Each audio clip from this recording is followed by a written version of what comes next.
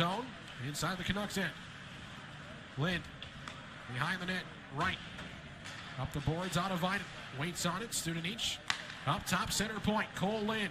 Through some traffic, shooting save, made, rebound, score!